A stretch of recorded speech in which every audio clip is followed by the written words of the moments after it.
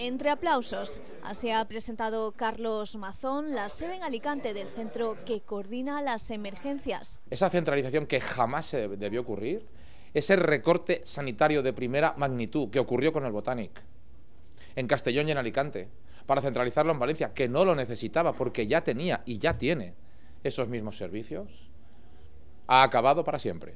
Se trataba de una de las principales reivindicaciones de los profesionales sanitarios del Hospital Dr. Balmis y hoy se ha inaugurado con un servicio totalmente mejorado. Y por tanto, la atención de las urgencias, la coordinación, la asistencia, la rápida respuesta, la cercanía, vuelve a Alicante.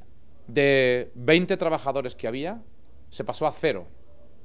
Y hoy de cero pasamos a 34, incorporando un servicio del siglo XXI con la más alta tecnología, con la incorporación de profesionales de enfermería que jamás estuvieron y ahora están, e incluso con la posibilidad, pensando en futuro, de futuras ampliaciones si fuera necesario el servicio, porque no vamos a escatimar en este servicio.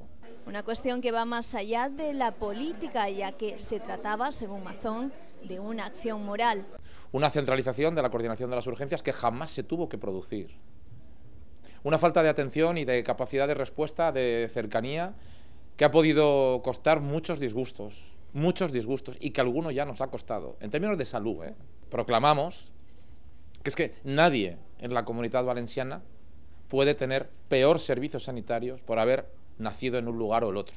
Sanidad ha invertido 2,3 millones de euros para dotar a los CICUS de Alicante y Castellón de todos los recursos materiales y humanos necesarios para su puesta en funcionamiento.